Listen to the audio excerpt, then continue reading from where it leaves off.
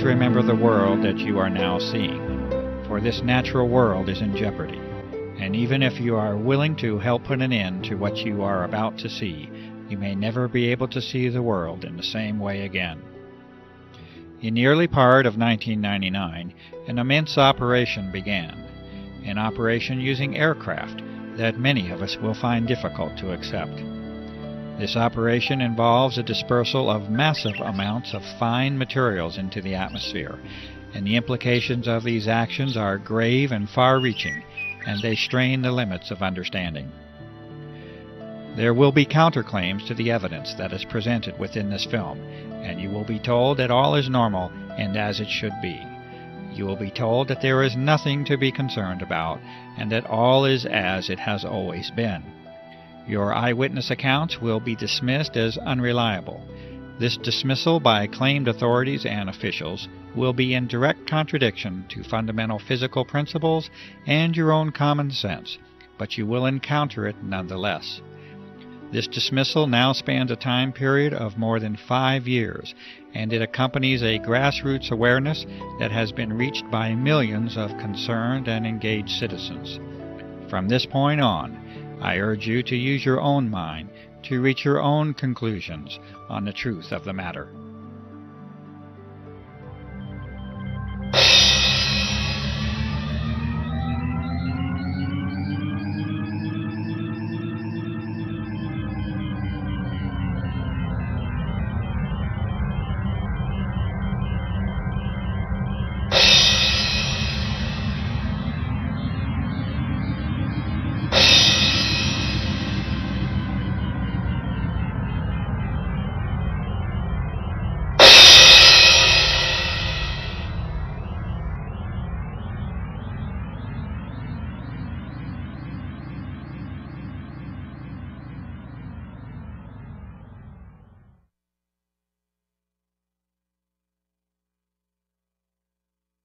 What you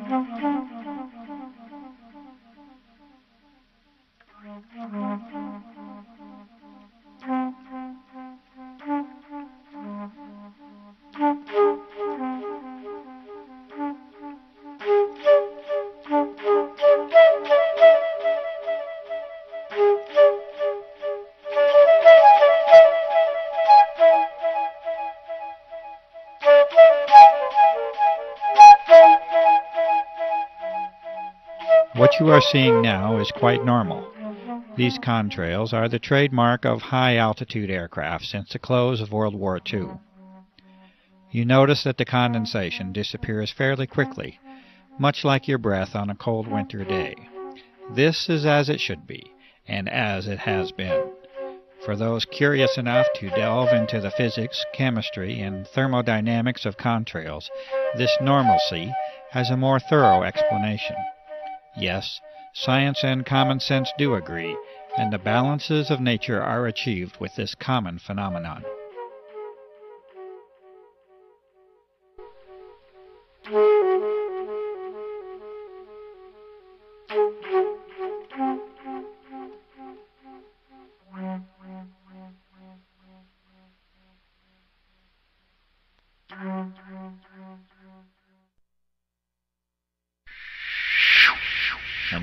Must take a different turn, a turn to explore an unusual world that now surrounds us, and yet a world that many of us remain unaware of.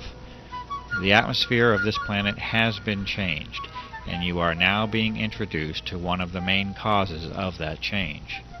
The aircraft at the upper portion of the screen is leaving a normal contrail, and it vanishes as any trail of water vapor is expected to but beneath it you see an aircraft emission that is stationary, thick, continuous, and persistent, and it must eventually be concluded that it is not primarily water vapor.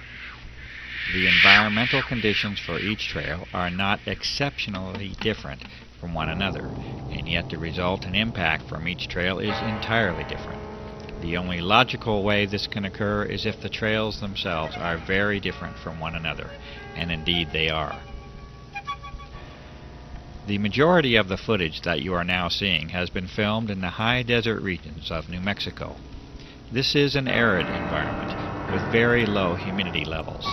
It is, in fact, a classic region for conventional contrail formation. Contrails themselves can and do form easily in a low humidity environment. In the past, the passing of a short-lived contrail in the high, clear desert sky was an innocuous and frequent occurrence. Cold and dry conditions, exactly those conditions that are normally found in the upper atmosphere, are extremely favorable to contrail formation the humidity levels of the upper atmosphere are actually relatively low, and is one of the very reasons that most clouds occur in the middle of the troposphere, being the lower portion of our atmosphere up to an altitude of approximately 7 miles or so. As this examination of our atmosphere continues, we will be now required to consider four types of events or phenomena. In addition to the customary existence of clouds and contrails, we must now consider a new entry, that of the aerosol. An aerosol is a solid particle in suspension, either in a liquid or a gas, and in this case we are considering the atmosphere as the gas to study. The aerosols will manifest in two primary forms, as an aerosol emission from aircraft and as an aggregate or collection of aerosols in the atmosphere. A suitable term for this collection of aerosols is an aerosol bank. It is known now that the persistent trails that form the subject of this film are primarily solid in nature and origin, and that they are not predominantly water vapor. A brief explanation of cloud formation will help us to understand why this is so. Clouds, that is, normal clouds, require two fundamental elements to form particles and moisture. Clouds are not suited to form in especially clean air. They require particulate matter, called condensation nuclei, that act as a base for water vapor to adhere to. The size of these nuclei, for the process to be effective, must be extremely small. The size of these nuclei are on the order of submicron. For comparison, a human hair is 60 to 100 microns thick, and an asbestos fiber is a couple of microns in thickness. The other essential component for normal clouds to form is a minimum level of humidity. From numerous sources, this minimum is on the order of 70% relative humidity. Notice that the requirements for cloud formation and contrail formation are already entirely different from one another. This is because they are entirely different phenomena based upon entirely different physical principles. Contrails can and should form readily in clean, cold, and dry air. Normal clouds, on the other hand, require higher moisture levels and a particulate or aerosol base from which to develop. The radical transformation of our sky as a direct result of aircraft activity now forces us to address an entirely new set of conditions. Aircraft are now repeatedly dispersing materials into the upper atmosphere at flight altitude, roughly from 35,000 to 40,000 feet. These materials expand rather than evaporate, and they usually transform into an unsightful haze that over the recent years has decreased our general visibility down to ground levels. One of the remarkable facts is that this commonly now occurs at very low levels of relative humidity, on the order of 30 to 40 percent, instead of the 70 percent or greater that is associated with cloud formation. And so we know now that these are not clouds in any conventional sense. They are indeed a unique and artificial creation that now crosses new thresholds in the atmospheric and geophysical sciences. There is one way that such a transformation can be made, and that is with the introduction of vast quantities of an extremely small, water-loving metallic salt at flight altitude. This transformation cannot be achieved with water vapor alone, and the emissions under examination are indeed not water vapor. They are solid, and they are well entrenched into your air supply. These important conclusions are at the very heart of the aerosol operations that are being disclosed here. These changes in the very atmosphere that we breathe have a fundamental impact upon the life of this planet, and these aerosol operations have many potential applications that reduce the sanctity of that life. These operations are being conducted. They are being conducted without your participation or your informed consent. They are affecting your life, the lives of those you know and love, and the very life of the planet itself.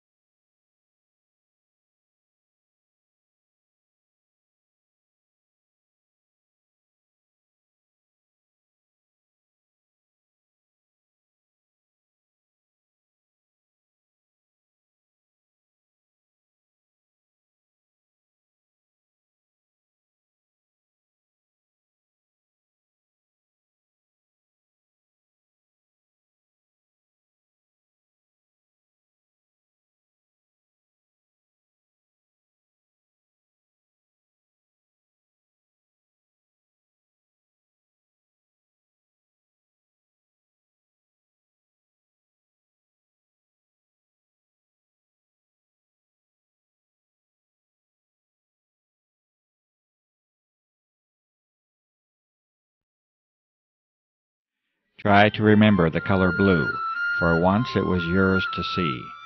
The blue sky is your birthright and a source for joy, and it remains at the very core of our existence. There are factual reasons for the blue color of the sky, which can certainly be traced to the cleanliness and clarity of the air that you breathe. But please do not lose the wonder of the sky itself, the magic and emotions that you have once shared with the earth in all of its glory. These are more than facts, reasons, and observations. They are the experiences and memories of life itself.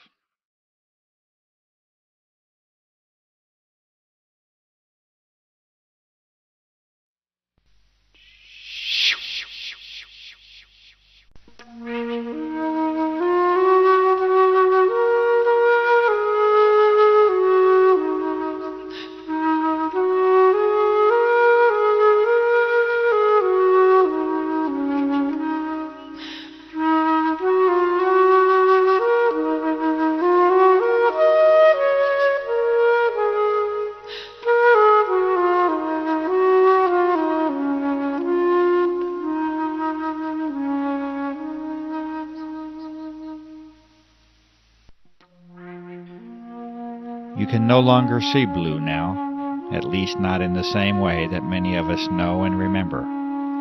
Your horizon has largely turned to white, and there is a very good reason that this is so. These fine solid materials, or aerosols, are now in your way, and you will see clearly no more.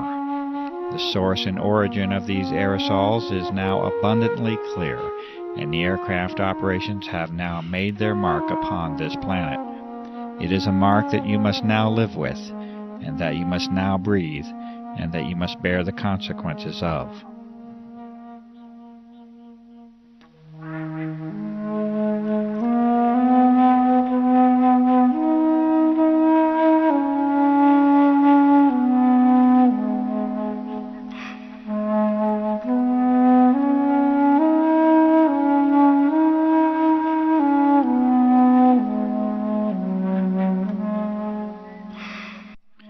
That is, unless we all become aware of the level of damage that has already been done, and unless we act together to reclaim our planet and its atmosphere. These images were taken in what was once one of the cleanest locations on the earth, and that is the high desert of the southwest.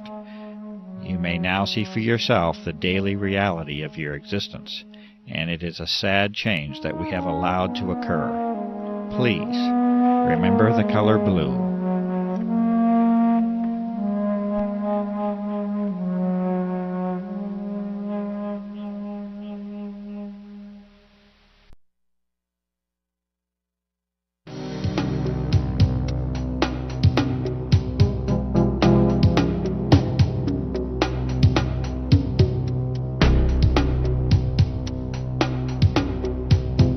In the early part of 1999, A website under the name of www.carnicom.com was created to call attention to the unusual events and effects surrounding aircraft activity over the southwestern desert skies of the United States. The developer of that site was a generally quiet and conservative former federal employee with no political or environmental notoriety. Within a matter of days, it was apparent that this site was immediately drawing attention from a broad host of high level government and military agencies, defense contractors, research organizations, chemical and pharmaceutical companies, and health organizations. This interest was documented on this same site for a period of several months, by which time an obvious pattern of monitoring the developing research was apparent. Over the next few years, a glaring disparity had evolved. On one hand, a high level of monitoring of documentation, sampling methods, research, analysis, and disclosure efforts was now documented. On the other, a campaign of continuous dismissal of the significance of the issue and a refusal to investigate was conducted by those very same visitors. You are now seeing a small sample of these frequent visitors and monitoring agencies and companies, such as the Pentagon, multiple Air Force bases, the United States Senate, aircraft manufacturers, pharmaceutical and drug companies, national security, intelligence and emergency agencies, weapon and defense system contractors, research organizations, and the media. The United States Air Force is now on public record as declaring that the entire subject of this documentary is a hoax. This assertion was first made by Lieutenant Colonel Michael K. Gibson in August of 2000 when he stated that, quote, the chemtrail hoax has been investigated and refuted by many established and accredited universities, scientific organizations, and major media publications. This assertion was later escalated when Colonel Walter M. Washabaugh in 2001 repeated verbatim the previous declaration. Colonel Washabaugh also did not opt to provide the detailed list of the refuting parties. Charles H. Taylor, North Carolina, from the House of Representatives has stated in March of 2000, in a response to constituent concern, that he has been, quote, informed by the Air Force that these chemtrails are nothing more than ordinary contrails, unquote. He also states that they pose no environmental hazard or risk to human health, and that we can be assured that he will continue to monitor this issue. Harold Halsness from the Office of Secretary of Defense, and in response to a direct inquiry to former President of the United States, William Jefferson Clinton, in January of 2000 states that he is familiar with some of the reports on this issue, but that he finds them unsubstantiated by the facts. In addition, assurances offered that there is certainly no cause for alarm. In the first of many responses from the United States Environmental Protection Agency, under the directive of Carol M. Browner, Administrator, it is acknowledged in December of 1999 that citizen concern is focused on whether or not aircraft may be involved in operations that release chemical or biological substances. The EPA responds that they are, quote, unaware, unquote, of any such applications by such aircraft. In January of 2000, a certified letter including a physical sample of highly unusual airborne fibrous material is sent to Carol M. Browner with a request for identification of the material on behalf of the public environmental and health interest. The EPA responds again in February of 2000 in two separate letters with the statement that they are, quote, unaware, unquote, of any programs to disperse materials into the atmosphere using aircraft. The EPA does not acknowledge the receipt of or the existence of physical materials within the correspondence. In October of 2000, a series of more than 1,000 petition letters of concern was sent to Carol Browner as an indication of significant citizen concern on the aerosol issue. The EPA responded once again in December of 2000 that they continue to remain quote, unaware unquote, of any aerial application of chemical or biological substances that may have an adverse effect upon the population. After a period of approximately six months, the EPA continues to take no action regarding the identification of the physical sample under their custody, and no acknowledgment of the receipt of that sample is made. The discovery of unusual biological components within that sample by independent researchers heightens the concern for identification of that material. In response to an inquiry from Senator Jesse Helms of North Carolina to the Environmental Protection Agency, Region 4, the EPA once again responds with the phrase of choice, that is, the EPA is, quote, not aware, unquote, of any programs to disperse materials on the population using aircraft. The EPA expresses its appreciation over concern about protecting the environment and is hopeful that their reply addresses any concerns. Greenpeace, an international environmental organization, when contacted regarding the aerosol issue, stated in September of 2000 that they are, quote, unable to comment, unquote, and that they do, quote, not have an official position, unquote, on the matter.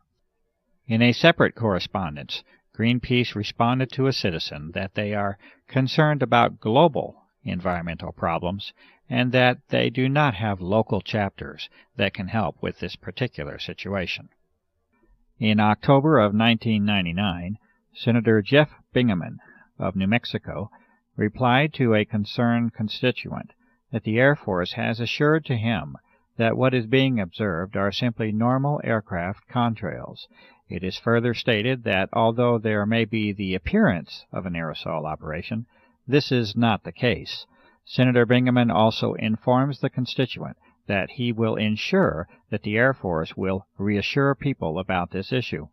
United States Senator Richard Lugar replies to a constituent in July of 2000 that what is being observed is simply a normal contrail as has been seen since the close of World War II. Furthermore, Senator Lugar states that the FAA, NOAA, the EPA, and academic professors have examined the claims only to find out that they have been made by disreputable sources and that upon challenge provide no evidence or data. Representative Mike Thompson of California replies in April of 2000 to a concerned individual that what is being reported and observed is simply a normal consequence of aircraft traffic, and that there is no environmental hazard or risk to health.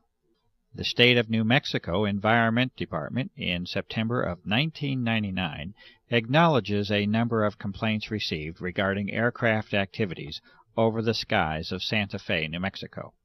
The Environment Department declares that the data does not suggest that any illegal or clandestine activity is occurring.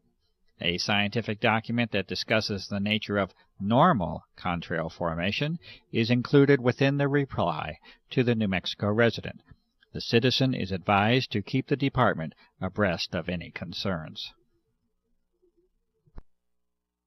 The Attorney General of New Mexico Patricia Madrid, in November of 1999, also acknowledges multiple inquiries to her office regarding unusual aircraft operations. The Attorney General declares that there is, quote, substantial evidence, unquote, that the activity and contrails are well within the range of normal aerial activity. After issuing this notice, Patricia Madrid declines to respond to two personal visits made to her office by Clifford Carnicom, a concerned citizen, to discuss the aerosol issue. The Ohio Environmental Protection Agency responds to a citizen in November of 1999 by stating that they are, quote, unable to complete an investigation, unquote, and that they do appreciate the concern expressed by the citizen about the environment. The ABC News 2020 investigative journalism staff respond that, quote, unfortunately, unquote, a request for examination of the aerosol issue was not chosen, and that 2020 thanks the citizen for thinking of them and being in touch. And in June of 2001, one and one half years after the original submission, the United States Environmental Protection Agency acknowledged the receipt of the unusual fibrous physical material. This acknowledgement followed a Freedom of Information inquiry on the topic submitted by a citizen. The EPA refused to identify this sample, stating that it, quote, was not the policy of this office of EPA to test or otherwise analyze any unsolicited samples of material or matter.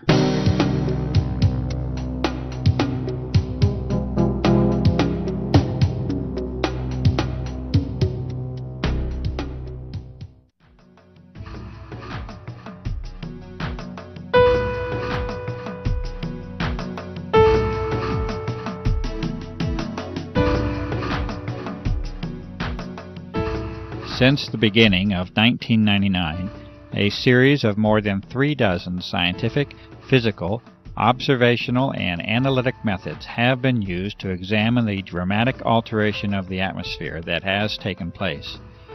These tests have been conducted with much labor, time, and expense. They have been conducted with very limited resources and equipment, much of it requiring original construction, development, or modification. What follows is a partial presentation of these sampling methods. The diversity and thoroughness of examination is apparent in the work that has now spanned more than five years.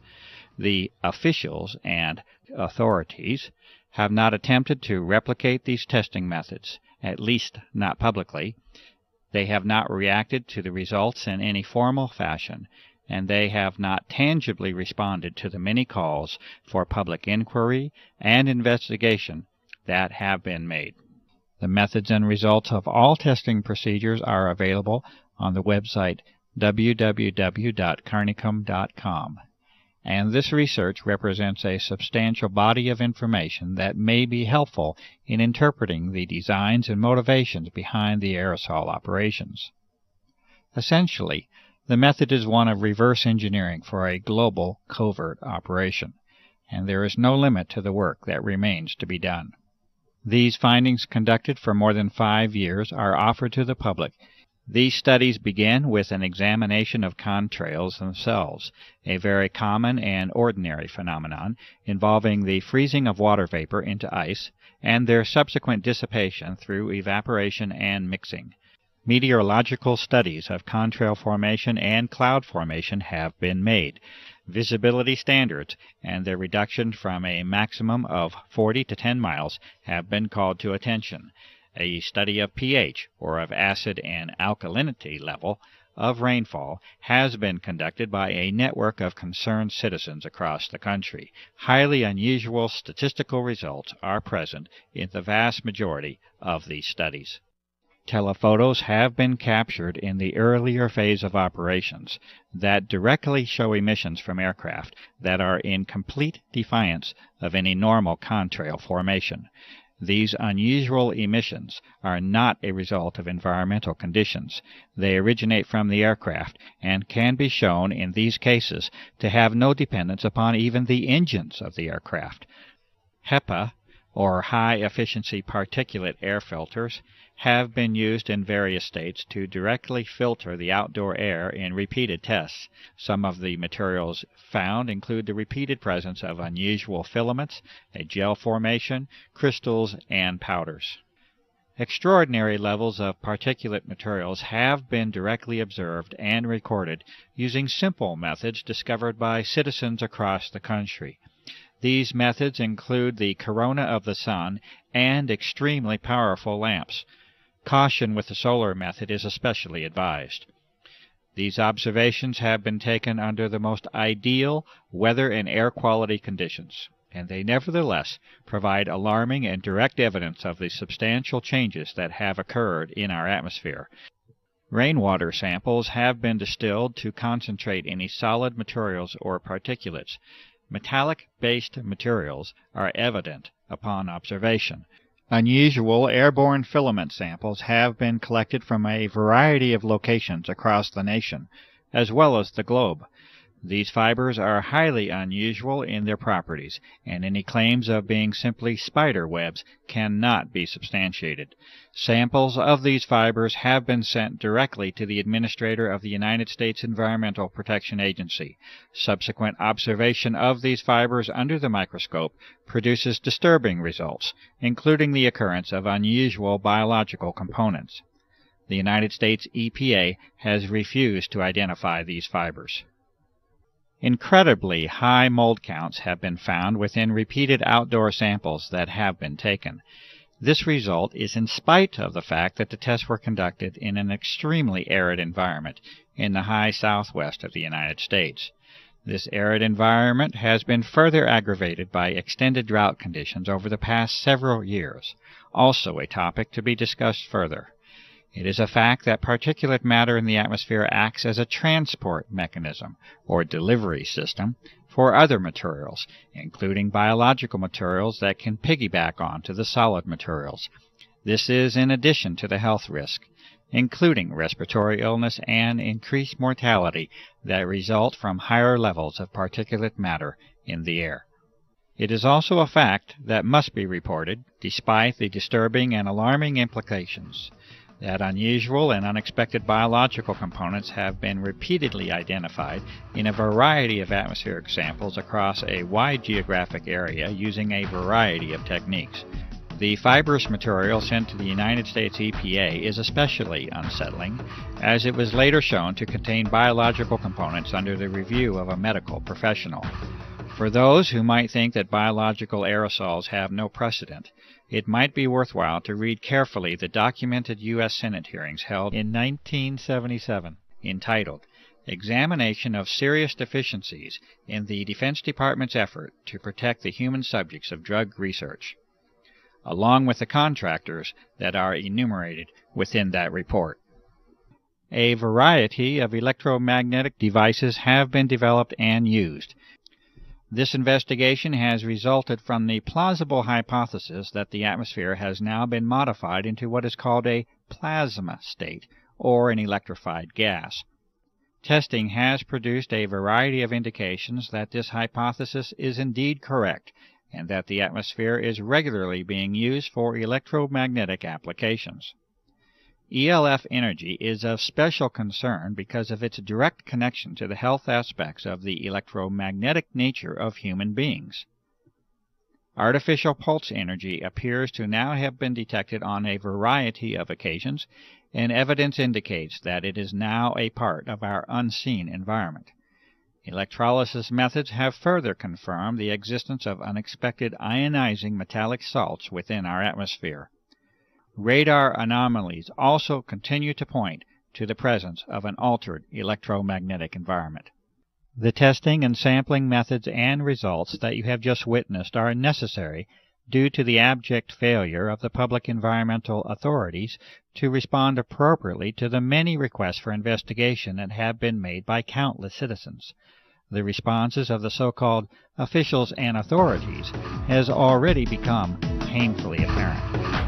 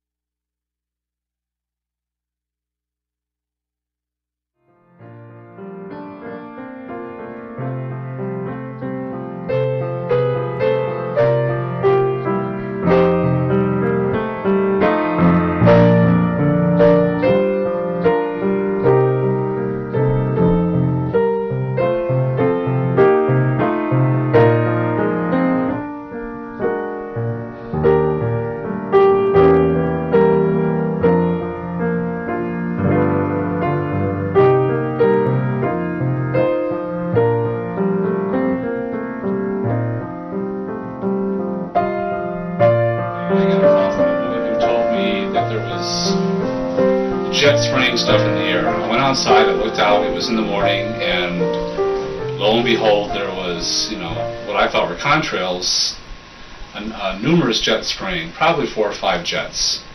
The contrails were not dissipating, they continued in the air. And I watched, actually, I, I was horrified because I'd never seen anything like this before, as it continued all day long. And the result was, within a couple hours, the entire sky was totally blotted out with this messy white haze. I started documenting after I discovered that nobody was paying attention and that even people who would look up and acknowledge that they see the same thing, they weren't at all concerned about it. They didn't think that it was anything of importance. And I, having, when I moved to Santa Fe, one of the things that, um, one of the reasons I moved here was because of the sun and the beautiful sky that they had here. And I've been somebody who's always watched the sky. And the, the sky here was deep blue and beautiful, and it was something that gave me energy. It was just something that just elevated my spirit every time I saw it, no matter how bad my day was going. If I could get outside and see that beautiful sky and those big fluffy white clouds, uh, everything was okay. And so I um, saw this being taken away, basically, and I didn't know what was going on, and I didn't. Uh, I, I, I didn't know who was doing it or why it was doing or why it was being done, and I still don't know. But I do know. But what I do know is that it is being done, and it wasn't natural. The, the would come. You I know enough. Of, you know, I have a I have a degree in science. I have a doctorate in science, so I consider myself to be maybe not a, an expert in, in, in this particular thing, but I know how to look at things, and I know that you know that if if you pass natural sunlight through a substance and it gives off a color, it usually identifies that substance. There's no two substances that give the same color in solution. So I knew that I was looking at something that was other than water because that would have made uh, what we know as a rainbow. It would have pretty evenly distributed bands of color all along the, the spectrum. Well, I because because I was trying to convince people that it was actually happening and it wasn't normal. I began to try to see things that I could point out to the sky while I was with them to say, "Well, look at this. How do you explain this?" And I learned a little bit about meteorology and uh, con, you know the atmospheric conditions necessary for even a, a, a contrail to form and persist, much less ones that just dissipate. And, and, and found that there were no laws of physics that supported this activity or the explanation of this activity as a normal water vapor or frozen vapor trail. And so I came up with things like, well, there, you know, all of a sudden, you know, the jet goes overhead, and, and, and, and in the same sky, you'll see two or three jets passing overhead, and there's nothing. You can barely see the jets because they're so high up. And other jets uh, come into an area, and, they, and all of a sudden, uh, the, the white trail starts all of a sudden coming out of the jet, and then it stops, and then it starts again. And I've seen a number of occasions where they just did dashes across the sky. And I stops and, and starts. I talked to a few pilots, and I asked them, "Well, how can you do this?" And, and, they, first of all, they did not believe that anything untoward was happening, and they said, "Well, you can turn your engine off." I said, "Would you do it over and over again?" He says, "If you're nuts, the sky's gone from uh, a, deep blue to kind of a, a silvery white." with a little hint of blue in it. Even on the best days, when, when you don't see a lot of activity overhead for even a week, um, it never comes close to the deep blue it used to be. And I started noticing, especially in, 90, in, uh, by March of 99, April of 99, uh, people were becoming very, very ill. at the time I was working in a healthcare facility and I was seeing uh, a lot of upper respiratory disease happen. Uh, and over the years, I've watched more and more people come down with asthma, and you can hear it. You go into the supermarket and you find children, you know, children that are two and three years old, and, and, and you can hear them wheezing. You can hear rales in their chest. I mean, this is very unusual. I, I still don't. I still really do not know why this is happening. I mean, I've gone the, the spectrum. I've gone the spectrum from thinking, "Oh my God, they're trying to kill all of us," to uh, maybe they are trying to, you know, protect us from. Uh, cosmic radiation that may damage the planet, you know, ultravi- ultraviolet or X-ray radiation that's coming because the upper atmosphere has been uh, in some way, has been torn in such a way as to let those things through. So I've been all the way from you know the most evil intent to the most uh, beneficent. But in either either case, I want to know. I wanted to know. I, I just want to know. I want someone in an official capacity to speak about it openly because whenever whenever something happens, and, and, and, and like I said, it's, it's, it's, I've learned an awful lot about human beings through this process because I I insist that this is happening, that this is real, and that it's not normal. That this that there's something happening, there's something under the table going on that's not being talked about, and yet it's happening in broad daylight, visibly. It's affecting everybody. It's uh, certainly it's no longer the joy it used to be to go hiking in the mountains, to go outside to ride my bike. Um, I've had more upper respiratory and lower respiratory and sinus infections and, and health problems in the last five years than I have in all my life combined. And so that's part of my concern, and also a lot of the people that I care about um, have been very ill. But in terms of are they going to stop it? Because the public is concerned, well, the public is going to have to get really, really concerned in a very, very big way. And the thing that, I mean, now that's a cynical view. Uh, a paranoid view is that um, well, if if the public does have a big outcry against this, well, we already know they can they can blatantly spray us with whatever the hell they please, and it could be you know they could they could put you know put us to sleep or something you know they could they could put something in you know some tranquilizers or something we'd just be walking zombies in a lot of ways I think a lot of our population are walking zombies I mean the level the, the, the lack of the general lack of the ability to think critically about anything outside of one's own personal uh, life, safety, football games, is astounding to me. The hopeful view is that they, they're going to stop this at some point during my lifetime so that I can see blue skies again. And, and you know what? I've never ever had that feeling before until this started that there's actually one thing I want to see before I die, and that is a really deep blue sky.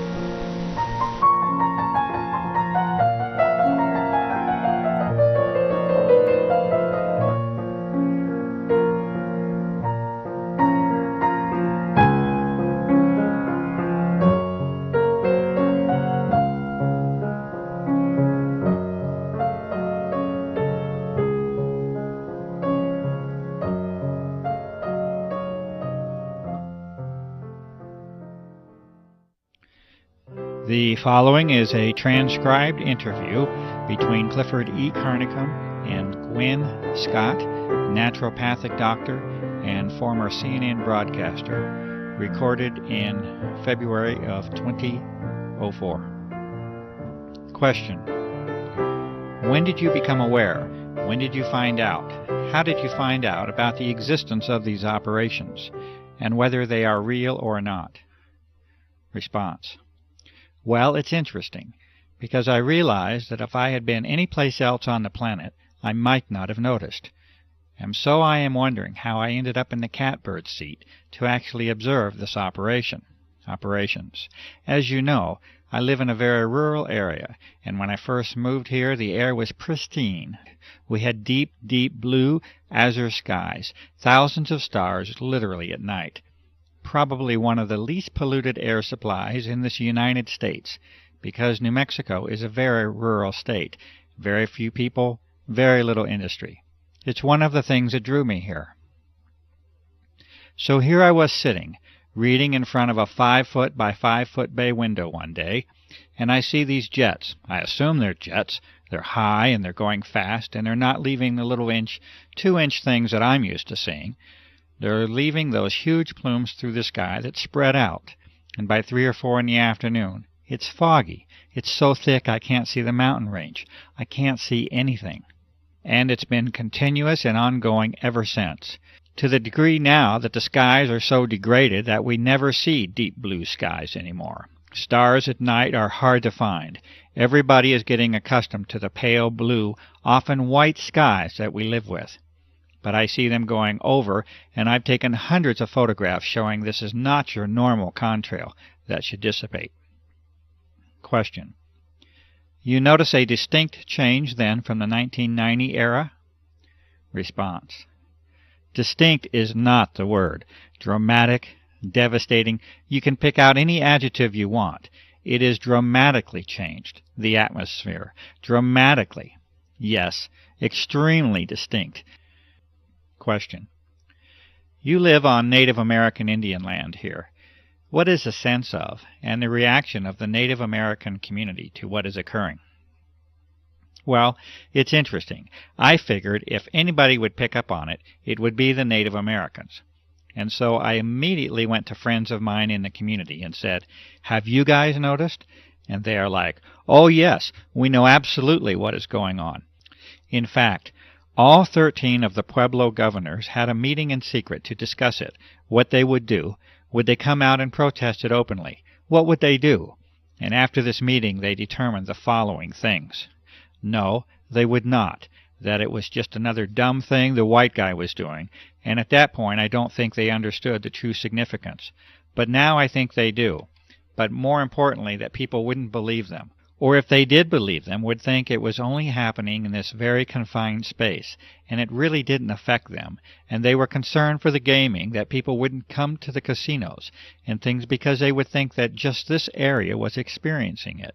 So they voted unanimously to not say anything. Question. So even the Native American community did not show the level of independence or the level of assertiveness to make this an issue? Response. It was heartbreaking to me. But they're a little more philosophical, too. One of the medicine people that's a friend said to me, You know, this has been prophesied. We call it the death winds. We always thought that it would be nuclear fallout. But maybe this is the death winds. They have a very skeptical view, anyway, of what the white man's intentions are. Comment. And with good cause. Response. And with good cause. And with history behind it. So, and they've also lost every battle, basically, they have fought that way. But I think as more and more of them get sick, and they are, there is maybe a wider awakening that this is really, really serious. Question. You have a background in the world of journalism, and specifically broadcast journalism. Can you talk a little bit about that background, and also the relationship of the media to what is occurring, what has failed, what has worked, any efforts that you have made to motivate the media to involve themselves in this, to cover this issue? Response. Yes, well, you and I are friends now, so you know that I was in broadcasting for 30 years. I worked for all three affiliated networks ABC, NBC, CBS, in many of the larger markets, and I culminated my career as an anchor at CNN and Headline News. So the medicine part of me was kind of going along as my passion, and so I made my living and had my career as a broadcaster. And any free time I had was spent studying the medicine, because that was where my true heart lay. So I have over the years a lot of really good contacts in some pretty high places in the media. But I would imagine pretty much everybody watching this will know there has been dramatic changes in the media. Who owns the media?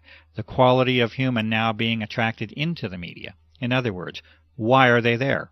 When I started, it was mostly all print folk, and they kind of had to tell us, you know, come on, clean up your act. This is visual but people were coming from the old school of journalistic, afflict the comfortable, and comfort the afflicted, and you are the watchdog, and you go for that story, and you never accept the official version, and on and on and on. Most of the media and information we get now is owned by only three companies. When they deregulated, the FCC deregulated, they allowed these huge, like AOL, Time Warner, to gobble up. So you've got these large entities controlling all the information, whether it's film, radio. Okay. So the complexion has changed, and I would say the kind of person drawn into it, when it became a place where you could make a really good living, and people would go, Oh, I know you. You're so and so. It drew people with different agendas. So you don't necessarily have the hardcore, old fashioned, get the story. I don't care if my hair is a mess. I don't care if I'm dripping wet. There's a few out there still, but for the most part. So that's that. And yes, when this started, I called in every chip I ever had. I called a very good buddy at CNN, who really assigned most of the stories. He was very high, very interested. I sent him your website, a lot of your information. He was high, high, yay, yay, shut down and I never did get an explanation. As you well know, I contacted some of our local media people. The main anchor on the local station wanted to do a story, we thought, and we shot a lot of video of the activity. In those days it was very obvious. Now it's a little harder. You don't have the mornings where you have the deep blue sky, and then the afternoon. You get the pale blue white sky if you're lucky. And as you well know, that story never aired. Comment. I would consider that a fairly serious dedicated effort by a media person, and yet we saw nothing come of it. Response. Nothing came of it. Exactly. As you well know, the USA Today, which is an international publication, did a story on it, but it was obviously with an agenda, basically poking fun at those goofy, goofy people who saw those things.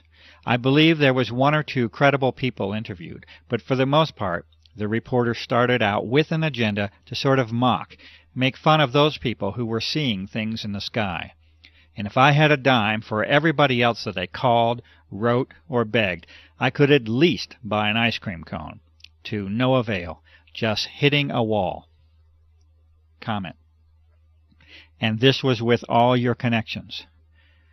Response. This is with years of connections. It's unprecedented in my life. And I cannot name another story. People point to Watergate as this big watershed cover up. I find that laughable. This, in my opinion, is the biggest story, and I approached many of my colleagues this way. This is the biggest story in recorded human history. You have an entire planet now covered with whatever by whoever, and nobody's even acknowledging it. What the heck is going on, and how come we don't know? Question. That's the question. What could explain that level of refusal? Response. A few things, okay? A few things, to be fair. Fear. I saw that. Fear. Because the folks that get it know who's doing it, and they're afraid. Okay? They know it's something bigger than them. They know all the possibilities of who is able to put planes in the sky, that many, every day, 24 7. It doesn't take a nuclear physicist to figure out that it's not the guy around the corner. This is big. Comment. So even the journalist has that threshold that they're unwilling to cross. Response. Oh, yeah. Afraid. And the few that are left who do catch on to it and say, wow, I want to do this story, like we were just discussing. They hit a wall somewhere, and I'm never told where it is. I don't know if it's the news director, I don't know if it's the station manager, I don't know who. But they hit that brick wall and it goes away.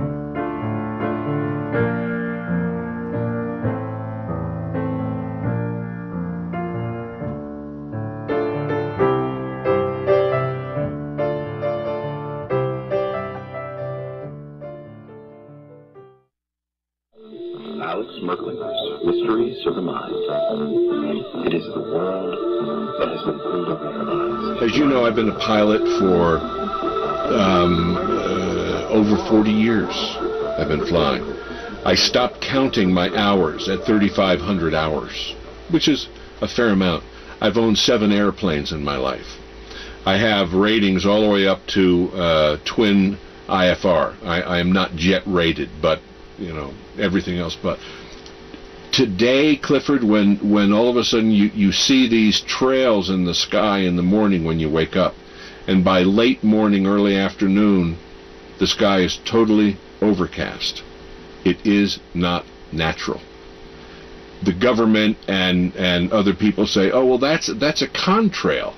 condensation contrail that that all planes do at a certain altitude and I said you don't know what you're talking about Yes, there are contrails. Go back to World War II, we had contrails, but they didn't last. This, it, it, this was, you know, in those days it was condensation of moisture, and then it dissipates after, I don't know, maybe maybe depending on the altitude, maybe a minute, maybe a little over a minute, but around a minute, and, and, and it's gone. These things last all day long, unless there's a strong wind and it blows out of the way. Now it's gotten so bad, and I talk to people, as you know, all over the world. And it's happening almost every country that I'm aware of in the world. We have listeners in at least 50 countries that we know of. And and people are always reporting back if if we get into a discussion or times that that you have been on the show before, uh, people come back and, and just report incredible experiences.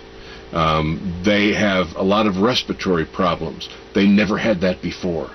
People are having a lot of sinus problems. They've never had that before. And it's always after they have been inundated with some of these sprays. Um, you also asked about, you know, how do people feel about it? Uh, they are extremely concerned because there seems to be something that is happening that is affecting them physically and in some cases even emotionally and psychologically. So there there is a drastic change in what is happening around us in what, five years, five and a half years. And people have never seen this or experienced this before.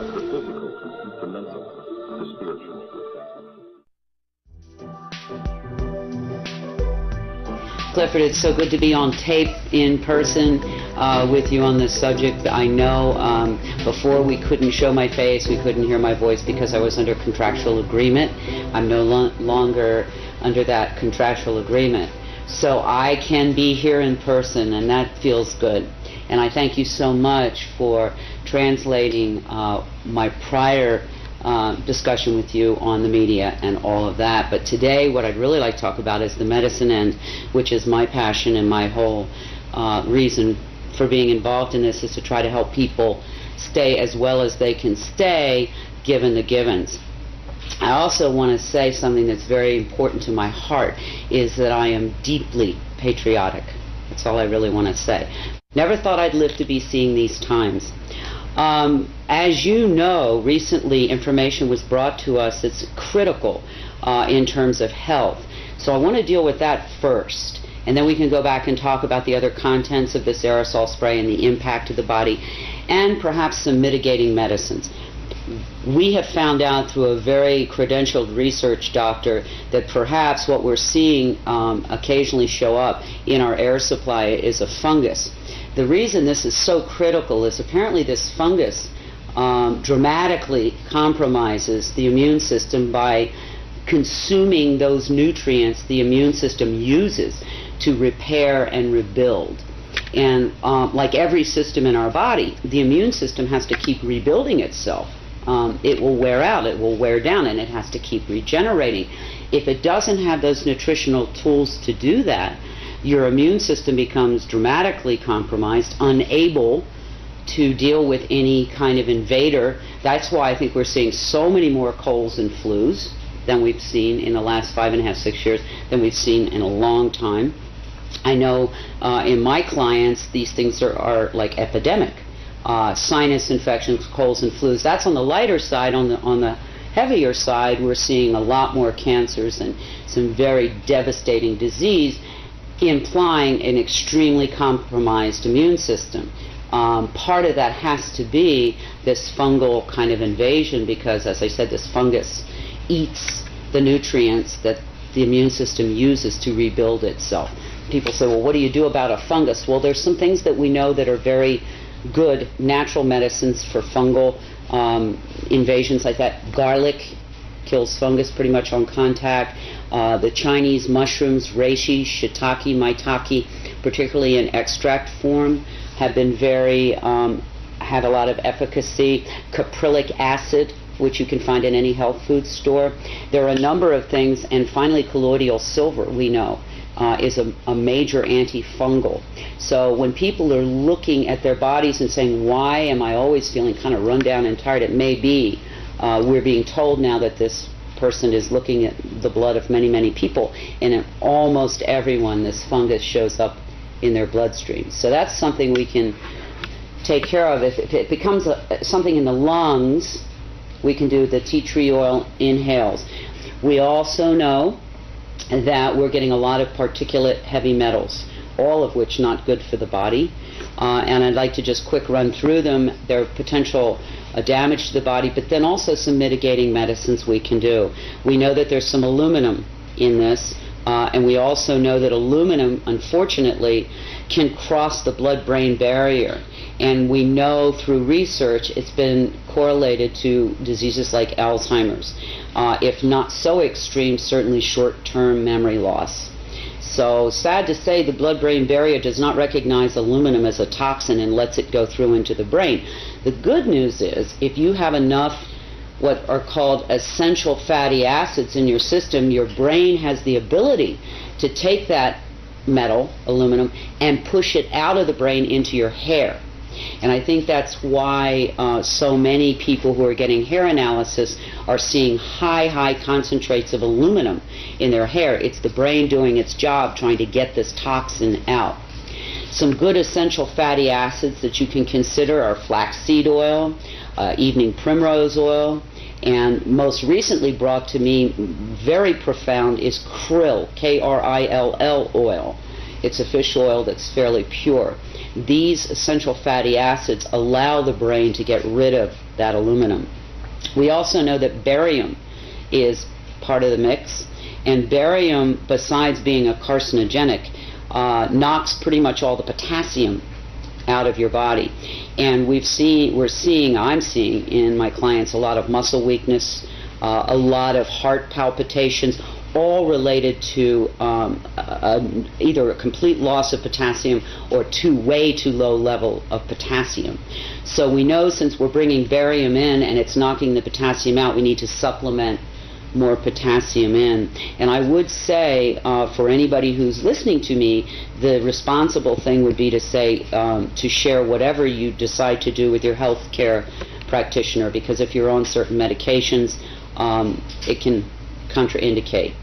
But these are just general guidelines and information for people, not prescription, not diagnostic. Yeah. There is also apparently some titanium in this mix from your research. Uh, again, another heavy metal. And magnesium. And for a long time, I could not understand why that would be a bad thing because we're always encouraging people, you know, to take some magnesium in. However, my brother, who's a physicist, accidentally gave me uh, an answer that I had been seeking two or three years why I was seeing so many blood clots and thick sticky blood platelets, and it's epidemic now, and constantly running commercials for blood thinners and on and on. Well, he tells me when you combine an aluminum ion with a magnesium ion, it clots the blood.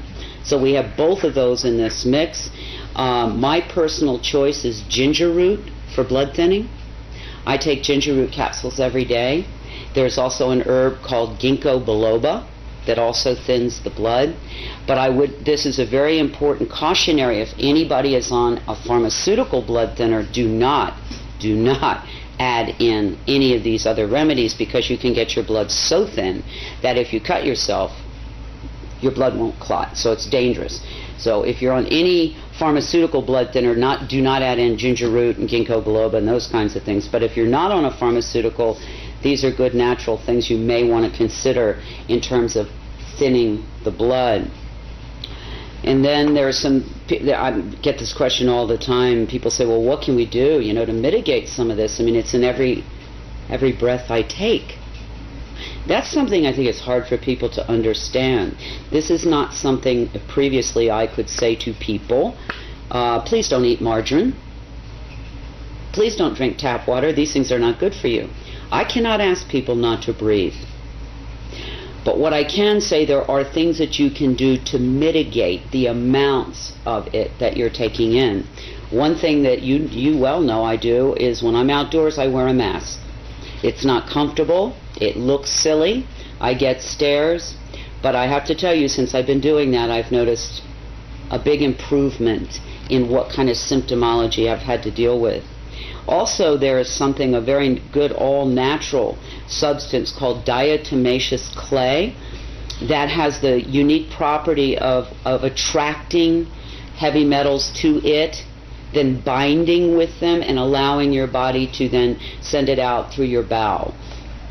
In most health food stores, you can find it under the name of bentonite. You have to make sure, though, this diatomaceous clay that you're taking in is food grade uh, because they do have diatomaceous clay at the um, at the at the nurseries, and and that's not pure. But if you go to your health store, or if you know somebody who has food grade diatomaceous clay, that is something I do daily to try to begin to remove these metals because all heavy metals are detrimental to the system. Again, um, flaxseed oil, krill oil, uh, the omega 369 oils, very important, particularly for brain function during these times. Potassium supplementation.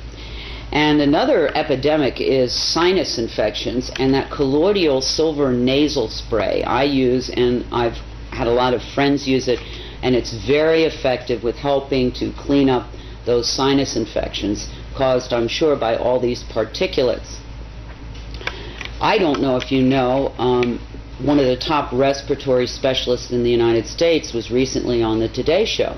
Uh, he's written a book called um, something about the breathing crisis in this country, and he told I think it was Katie Couric, I don't recall who was interviewing him, maybe Ann Curry, um, that death or mortality from respiratory disease had gone from number eight five years ago to almost number three. That's huge. That means that the third lead, leading cause of death now in this country is breathing. And one has to wonder what could have happened in five years to have created that kind of crisis, is the only word I can think of. So, this is something that anybody who breathes, and I'm assuming that's anybody who might be seeing this documentary, needs to be concerned not only for themselves but everyone they love. This isn't like a firing squad where everybody goes down and you get to watch it at one time. This is a cumulative poisoning that will demonstrate in different people in different manners depending on how strong their immune system was to begin with, um, what their genetics are, and many other factors. So, this is something that will demonstrate in a lot of different ways. You're not going to have, as I said, the firing squad effect. But what you will have is over time, more and more debilitated people, more and more people who don't feel well, more and more younger people, which I'm seeing quite a bit of now, in their 20s, 30s, and 40s, with problems that we never saw in that age range, or rarely, I should say, saw. When this began five and a half, almost six years ago, 24 7, we know that maybe it's been going on however long, but the 24 7 heavy spraying, uh, during that time, at the beginning, I saw mostly older, frail people and, and infants suffering and leaving the planet. Um, but now it's it's coming down the old chronological scale here. So we're dealing with people, um, teenagers, 20s, 30s, 40s, 50s, um, with a lot of debilitating problems. And I know in Albuquerque alone, uh, five, six years ago, six to eight percent of the children were diagnosed as asthmatic. Today, as of now, it's 70 percent. It's devastating. These are children. I would say to anybody listening, one of the first and most important things that you can do is start to eat your medicine. Get rid of the junk food, get rid of the empty food, get rid of the zapped food, and begin to eat, uh, if you can, organic and free range. If you can, at least good, whole, pure food. Don't zap it in the microwave. That removes all the good digestive enzymes and many of the nutrients. So start with your diet because your body is is uh, under an insult that it's probably never in the history of man, I don't think, seen before. And in order for you to stay healthy and those that you love, you've got to really begin to pay attention to what you're eating, the water that you're drinking. That's the first line of defense. I'd also encourage people to consider a good all natural vitamin and mineral supplementation program because, again, um, our bodies need every bit of help we can give them in these times.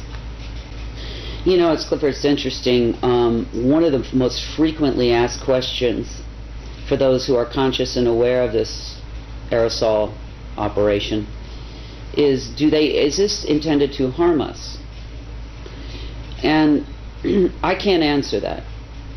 I don't know. But what i can say is do they know that it's harming us? It, unequivocally they do at this point in time. And so one uh, who lives in a free and democratic country would want to wonder why would the people that we trust to care for us, keep us safe, allow this kind of thing to go on. I personally um, have gone way deep inside and had many sleepless nights and can't come up with any plausible reason why you could, for any reason, harm so many people um, in such a dramatic way.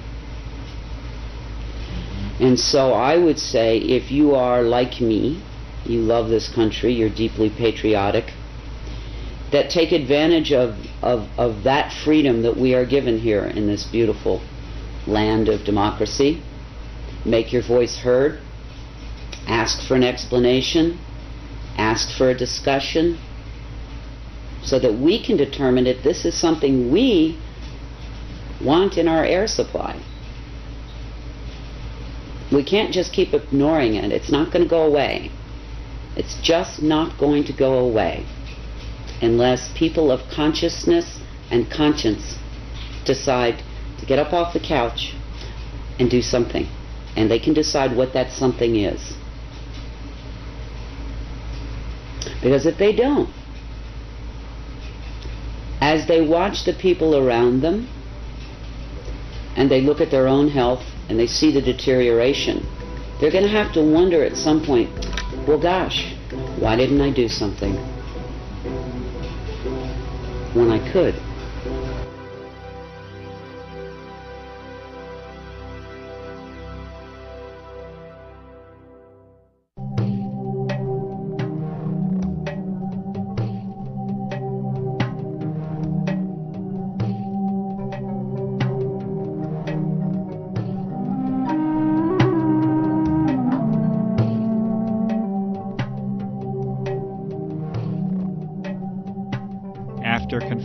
The reality of the changes that have been made to the planet, it is a natural question to ask why? Why would anyone want to? And who would want to alter the very air that we all breathe? We may never know the true answers to these questions, as the evidence is now clear that the aerosol operations are a covert operation, an operation that is never to be openly discussed or disclosed using the traditional channels of a free and democratic society, an operation that will never ask for your consent or for your participation and that will be conducted regardless of your concern. The answers, especially as to why, do not appear to be simple or restricted to a single purpose.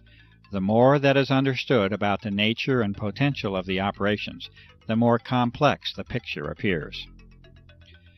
What can be done, however, is to use the vast body of evidence that has been collected at a grassroots level to make interpretations that are at least consistent with this data. This has been done, and there are now five major areas of endeavor that are in agreement with the observations, data, and analysis that extends for more than five years. These are number one, environmental engineering, modification, and control. Two, electromagnetic operations. 3. Military operations. 4. Biological operations. And 5. Planetary and geophysical change itself. These areas are not mutually exclusive to one another. There is an overlap that can make it difficult to discern where one program may start and another end. It is quite possible that any and indeed likely that many or all of these operations are being conducted concurrently. What can be done within this brief segment is to explain how and why these types of programs are consistent with the broad spectrum of evidence that is now available to examine. First, with respect to environmental engineering, modification, and control. The evidence now shows that the very physical nature of the atmosphere has been changed. The best information leads to the conclusion that a hygroscopic or water seeking salt is a dominant component of the aerosols that have been introduced. It is also an observation that has been confirmed over and over, and this is that the operations frequently, if not usually, are conducted in advance of approaching moisture and storms. These salts have the usual effect of locking up that moisture with the solid particles, and to generally reduce the impact of, frequency of, and the amount of moisture that reaches the ground. This is one of the simplest interpretations that can be made that is supported by countless observations, and this is that the moisture levels of weather systems have been altered. It may be no coincidence whatsoever that drought is now commonplace and widespread, and that the moisture of the planet is becoming an increasingly precious and sought after resource. There are those who make claims that the aerosol operations have an intended benevolent objective to mitigate the effects of global warming. It is also apparently accepted within that same claim that it is best that such an intention not be internationally discussed in public, and that you are best off not knowing about it. Unfortunately, the data does not support the contentions of benevolence that have been made, and in fact the majority of the data can be considered to have detrimental and potentially disastrous consequences to the life and ecology of this planet, including humans. Furthermore, the vast majority of elements and substances under examination will actually increase the heat levels of the lower atmosphere rather than decrease it when they are placed into it. This is exactly what the observations themselves support, and that is that drought conditions are exacerbated and aggravated by the introduction of the aerosols and not mitigated as many might choose to believe. In addition, there are many more complicated aspects of environmental control that are possible with the use of conductive aerosols, including the modification of the electrical nature of the atmosphere as well as thermal instabilities induced by interactions with the magnetic field of the earth. Storms depend upon the electrical exchanges that take place within the atmosphere. Lightning is the result of electrical imbalances that occur in the electrical fields between the earth and the atmosphere altering the collection and distribution of rainfall, interfering with the electrical exchange of energy and producing thermal or heat instabilities, all of these point to a very realistic assessment that environmental modification and control is likely a fundamental agenda within the aerosol operations. The United States Air Force has publicly disclosed a doctrine of owning the weather by 2025 and many have good reason to believe that such objectives have in part already been accomplished. This brief introduction to this topic only considers impacts upon the atmospheric shell, literally an eggshell of life that surrounds this planet. Understanding the full environmental impact, including the soil, the seas and lakes, the flora and fauna, the agriculture that sustains us, can only lead to an ominous portent of environmental change that we must pay the price for with our apathy.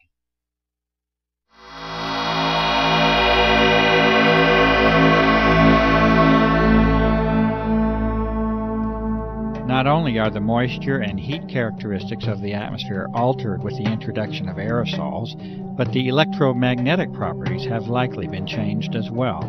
An ion is a charged electrical particle and all of the data supports the claim that massive amounts of easily ionized particles are another important part of the grand geophysical picture. There are some elements that can actually become charged with the energy from ultraviolet light and even visible light in some cases. Barium is one such element that falls into this category. The implications of being able to modify the atmosphere electrically and magnetically are enormous, and a variety of physical methods that are used to transfer, manipulate, control, and propagate energy in that medium must then be considered. As an example of how a small change can produce a major effect, consider the following statement from Lancaster University in the United Kingdom on the topic of the ionosphere. Quote, Although less than 1% of the upper atmosphere becomes ionized, the charged particles make the gas electrically conducting, which completely changes its characteristics. The ionosphere can carry electrical currents as well as reflect, deflect, and scatter radio waves. Unquote.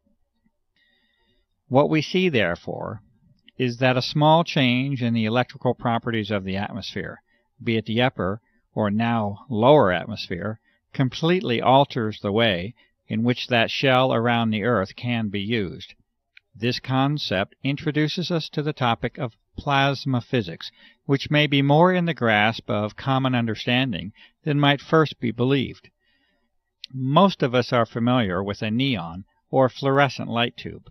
This is a perfectly common example of what plasma physics is about. In that tube there is an ionized gas, and energy can easily be sent through that tube to produce the effect of light in that case. A plasma is an electrically conductive gas. This means that there is a source of ions and electrons within that gas, and that these electrons can be used to carry current. We have seen that it takes very little change to produce a large change in the electrical properties of that gas, and the effectiveness of energy transfer and accumulation is governed primarily by the number of electrons that can be introduced into it.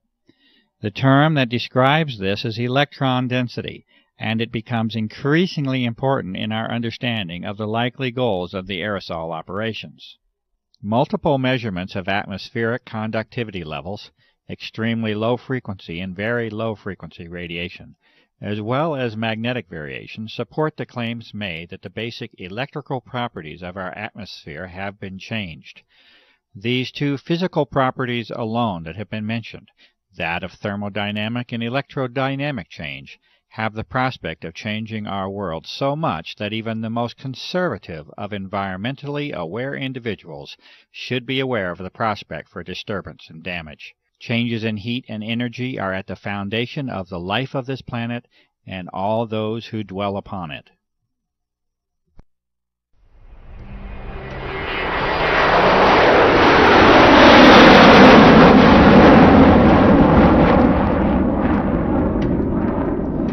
It is a necessary, logical, and natural extension to our discussion of applications to include the almost inevitable role the military assumes within them. Indeed, the dichotomy of extreme, sustained, and continuous interest and monitoring of the aerosol research by the military and intelligence complex, juxtaposed with the public declaration by the U.S. Air Force that this entire subject is a hoax, is curious enough that many of us may wish to seek the truth of the matter. The most advanced military agencies, intelligence services, and defense contractors clearly have an interest in monitoring and controlling the level of discussion and disclosure on the aerosol issue. The tools of research and analysis must therefore be used at least in part to compensate for the lack of openness that now shrouds this democracy under the guise of national security. A glimpse into the military window has been achieved, and a central theme will eventually emerge, and that is of control. Control in the deepest and far reaching sense that you may imagine. For when the atmosphere of the planet is controlled, life itself, in the end, is controlled. With a basic knowledge of plasma physics, that is, the physics of an energized gas or atmosphere, it is impossible to proceed further without at least a brief introduction to the HAARP facility and technology.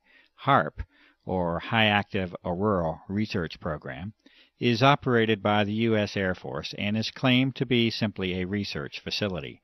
The stated purpose by the Air Force for the HAARP project is that of a scientific endeavor aimed at studying the properties and behavior of the ionosphere, with particular emphasis on being able to understand and use it to enhance communications and surveillance systems for both civilian and defense purposes.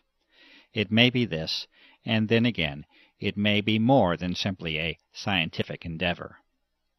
It may also be enlightening to consider United States Patent 4686605 by Bernard Eastlund in 1987 entitled A Method and Apparatus for Altering a Region in the Earth's Atmosphere, Ionosphere, and or Magnetosphere.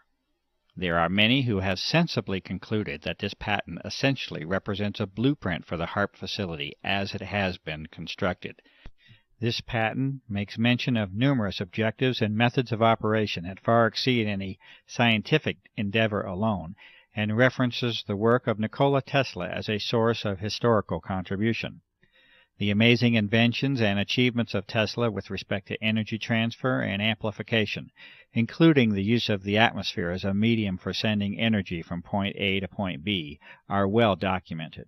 The documents of Tesla were eventually confiscated at the close of his life, especially as they related to military matters, and he is generally now accepted as an unrecognized genius. The current incarnation of ionospheric heating is able to, according to Mr. Eastlund, put unprecedented amounts of power in the Earth's atmosphere at strategic locations, and to maintain that power level with the pulsing of energy. This patent also recommends the use of large clouds of barium so that ionization by sunlight will increase the electron density within the plasma environment. Testing and analysis does now positively indicate the presence of unusual levels of barium, a toxic element, within atmospheric samples. The amount of power inherent in the design of the HAARP project is further indicated by Mr. Eastlund stating that the present invention can be formed to simulate or perform the same functions as a detonation of a heave type nuclear device without actually having to detonate such a device.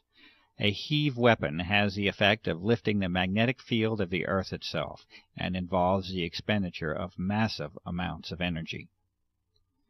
The patent is further stated to have numerous military implications, including the enhancement of or interference with communication and guidance systems, including those of airplanes and missiles, radar interference, missile destruction, weather modification, material transport of micron-sized particles, and molecular change of the atmosphere are each mentioned as further applications of the patent design. The executive summary for the HAARP project also specifically mentions forcing the descent of particles from the atmosphere toward the ground using ELF radiation from HAARP. Clearly, environmental modifications, the electromagnetic transfer of energy, and military operations of global impact are already in sight from the existence of these aerosols within our atmosphere.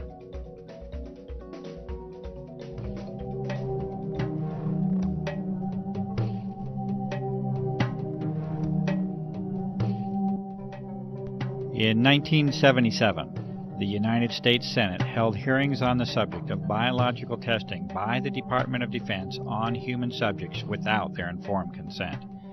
In the opening statement, Senator Kennedy identifies the key issue of the hearings the known use of Americans as unwitting human subjects for open air germ warfare testing conducted in the public domain by officials of our own government. Furthermore, he poses the critical question Should a democratic people cede to its government the full responsibility of determining when secret tests on unwitting subjects are necessary to protect the nation's security? It appears that this key issue was never truly addressed, and that, almost thirty years later, this responsibility is no longer a question that is even being posed to the public. It is a fact, however unpleasant and distressing the consideration may be, that biological components have been repeatedly identified in a series of tests of atmospheric samples over a period of several years. The U.S. Environmental Protection Agency has refused to identify physical material that has been demonstrated to contain biologicals of this same form. These components appear to involve the use of desiccation, freeze drying, and aerosol distribution methods, exactly the same methods itemized within the private contractor listings of the Senate hearings. Evidence further indicates that extremely advanced biotechnical methods are likely to be a part of the development and delivery process. To date, no professional or public medical professionals have attempted to duplicate the test methods and results, and the evidence continues to be provided only through independent citizen activism. Acknowledgement and response to this evidence by all public officials remains lacking. There is currently no prospect of government hearings on the aerosol issue, and the reality of the evidence continues to be denied by public officials.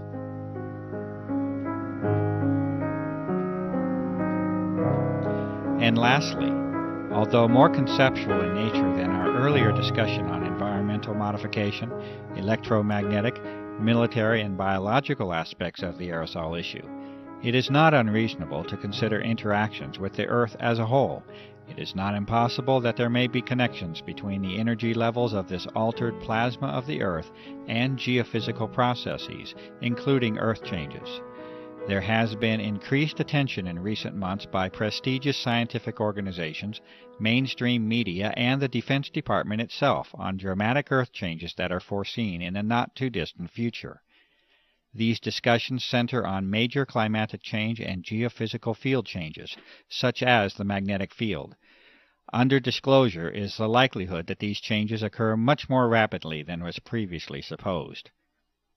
It is at least a theoretical reality that a plasma sheath around the Earth can accumulate energy. This originates from the combination of increased electron density and low frequency energy propagation. There are many questions that can be asked as to how and if this energy can be harnessed to affect the Earth. The many abnormal Earth changes already on the record during the recent years certainly offer a motive for examining the energy transfer between the Earth and the now altered atmosphere.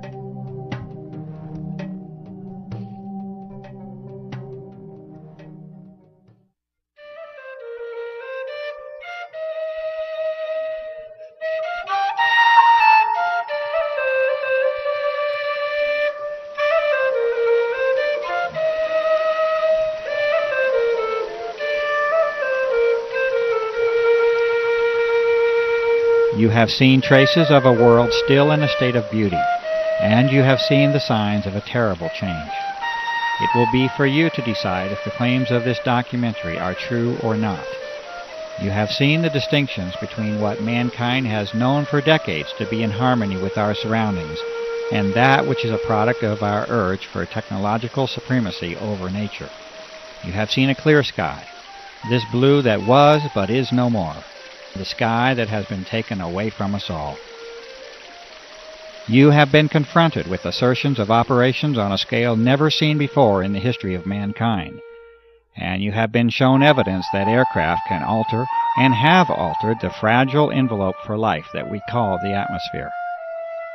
You have seen science and sampling applied to the problem over and over at the grassroots level Numerous methods have been demonstrated that show artificial and deliberate modification of the atmosphere, including its chemical, thermal, electromagnetic, and physical properties.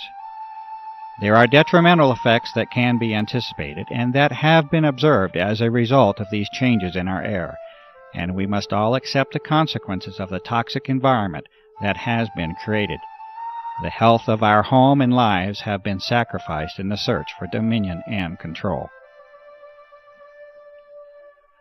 You have witnessed a high level of interest in the subject of this documentary by the military branches at the highest level the intelligence services, the chemical industry, research organizations, defense contractors, bioengineering firms, and the pharmaceutical complex. You have heard the responses of the public government, and even environmental organizations in response to the innumerable requests by the public for investigation. These responses repeatedly revert to describing phenomena that are normal and commonly observed, while denying and dismissing the extraordinary observations that sensible and reasonable citizens have called attention to. There has been a sustained campaign to ridicule and discredit the cumulative efforts of years of research, activism, and devotion by countless individuals acting from the motive of concern for the health of this planet and its inhabitants. A free and democratic society, if it is to continue to exist, must be able to openly discuss the benefits of technological and military supremacy against the deleterious impact upon the environment that we as global citizens must share. Divine rights of humankind must assume their rightful place amongst the individual nation's right for military security and secrecy. You have heard the responses of only a few citizens and professionals who state their sensible concerns about the impact of the aerosol operations upon our environment and our health. The lack of time prevents the presentation of the awareness that is now known to be shared by a grassroots network that conservatively must include millions of people. The extent of this awareness across national boundaries is apparent, and this network is of global proportion. The control of media information by relatively few corporate interests appears to be a significant factor in the restriction of honest and open public discourse on the aerosol issue. The attempts at ridicule of this issue by the U.S. military establishment should also be evaluated as to intent and motive. You have been provided with an analysis of the potential agendas of the aerosol operations, the conduct of environmental military, electromagnetic, biological, and geophysical operations are each consistent with the vast body of information and evidence that has been accumulated over a period of more than five years. This result has been reached with the painstaking efforts of numerous citizens, researchers, and activists across the country and around the globe. Many of the operations under consideration would appear to regard the welfare of human beings, the life of this planet, and our environment as a low priority. Many people, having become convinced of the reality of these operations, will naturally ask the question, What can I do to help? It is also known from experience in history that many of these same individuals feel helpless and powerless after they confront the immensity and complexity of the operations. They also often become disillusioned after encountering the predictable and disingenuous responses of our public servants. It is also known that the traditional methods of dissent and activism are no longer working, and the political process is failing in a constitutional sense. Petitions have been signed and disregarded. Appeals for investigation are dismissed. Calls for media involvement lead to crafted articles of ridicule. Even the legitimacy of the voting process itself is in question. There is no comfortable, reassuring, and simple answer that can be given to you. This is the reality that we must face. It is expected that any success will eventually result from an enormous groundswell of grassroots activism and open public protest. At the current rate of progress, a timeline of decades can be projected before we reach the level of influence that is needed. The sober counter reality is that the health of this planet is not likely to give us such a generous allowance of time. Our atmosphere is our lifeblood, and like the proverbial frog in the warming pot of water, we are acting obliviously to our own demise. You will have to use your talents and resources, your gift of life, to help this planet. The role of this researcher has been to give you the best information of what is believed to be the true nature of the aerosol operations. You will have to determine your role and exercise that role while you still have the opportunity to do so. If you are a professional, you must inquire into the ethics of your profession and answer the questions of public service that accompany it. If you are a citizen, you must participate. If you remain silent in the hope of preserving your freedom and security, you are almost certain to lose both. The doctor, the journalist, the scientist, the lawyer, the politician, the environmentalist, the activist, the author, the filmmaker, the fundraiser, the organizer. You must all assume your roles openly, publicly, and quickly to offer any real hope for our survival. I make this appeal to you. This documentary is a not for profit venture. It has been made with an appeal to you personally in mind. It may be freely copied in its entirety and distributed. No individual is permitted to distribute this documentary with a profit motive. It has been created for the benefit of the public. Please help us to restore and regain the world that you know can exist.